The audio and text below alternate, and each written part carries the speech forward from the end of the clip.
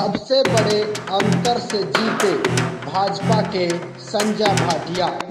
कांग्रेस के कुलदीप शर्मा को हराया। भाटिया ने दर्ज की देश की सबसे बड़ी जीत। छह लाख वोट से दर्ज की सबसे बड़ी जीत। लोकसभा चुनाव में एक बार फिर प्रचंड मोदी लहर नज़र आई। एक बार फिर बीजेपी रिकॉर्ड सीटों के साथ सत्ता में आ गई। इधर विपक्ष भाजपा की इस बड़ी जीत से डगमगा गया। बीजेपी ने लोकसभा चुनाव 2019 में कई कीर्तिमान अपने नाम किए। हरियाणा की करनाल लोकसभा सीट से भाजपा प्रत्याशी संजय भाटिया ने इस लोकसभा चुनाव में छह लाख छप्पन हज़ार एक सौ बयालीस मतों से रिकॉर्ड जीत अपने नाम की।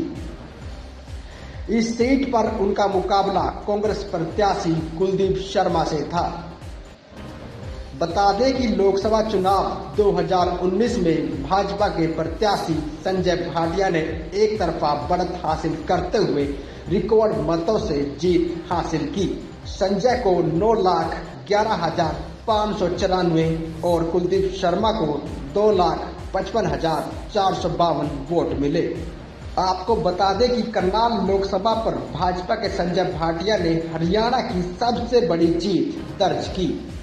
उन्होंने कांग्रेस के कुलदीप शर्मा को छह लाख छप्पन हज़ार एक सौ बयालीस वोटों से हराया। भाटिया को कुल पड़े मतदान का सत्तर दशमलव ज़ीरो आठ फ़ीसदी मिला। बीएसपी के पंकज तीसरे स्थान पर रहे। वहीं इनेलो के धर्मवीर पाडा महज पंद्रह हज़ार सात सौ सत्तानवे वोट ही हासिल कर सके। करनाल सीट पर संजय भाटिया को पूरे भाजपा संगठन का सपोर्ट था। यहाँ संभालका को छोड़कर सभी विधानसभा क्षेत्रों में भाजपा के विधायक हैं। इसके साथ साथ मोदी फैक्टर भी उनके साथ था।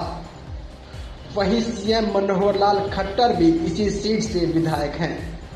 इन सभी कारणों की वजह से उन्होंने इतनी बड़ी जीत हासिल की। बीजेपी की जीत के बाद कहीं लड्डू बांटे गए तो कहीं आतिशबाजी की गई। इतना ही नहीं कई जगह तो ढोल की थाप पर बीजेपी कार्यकर्ता और नेता थिरकते नज़र आए। वहीं अपनी और पार्टी की जीत के बाद संजय भाटिया ने क्या कुछ कहा आइए आपको भी सुनवाते हैं। मैं मैं तीन शब्दों में श्रेय इस देश के प्रधानमंत्री उन्होंने सशक्त नेतृत्व एक मज़बूत नेतृत्व इस देश को दिया। प्रदेश के मुख्यमंत्री जिन्होंने ईमानदार और पारदर्शी प्रशासन इस प्रदेश को दिया।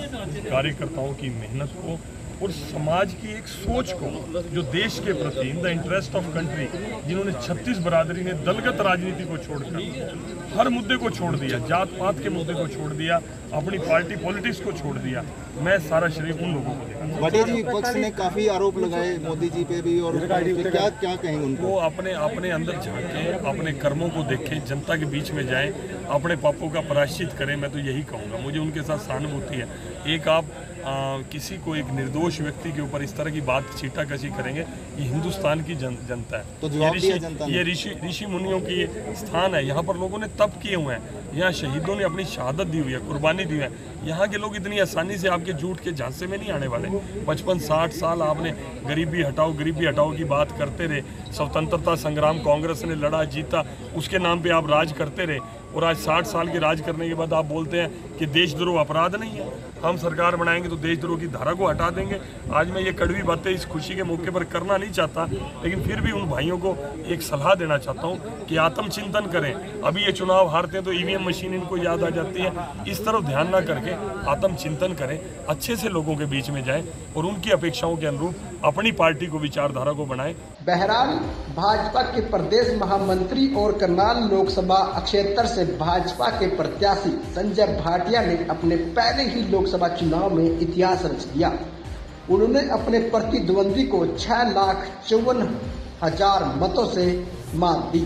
आपको बता दें कि संजय भाटिया ने प्रदेश के तिरपन साल के इतिहास में सबसे बड़ी जीत हासिल की। Bureau report CMN news